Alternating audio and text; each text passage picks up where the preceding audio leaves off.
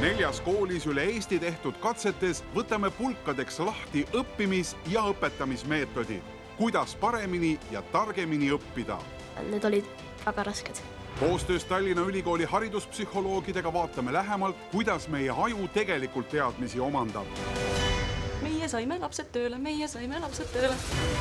hoogne ja põnev eksperimendisari Maailma kõige targem rahvas Nad teevad edasi. teisipäeva õhtuti kell kaheksa Eesti Televisioonis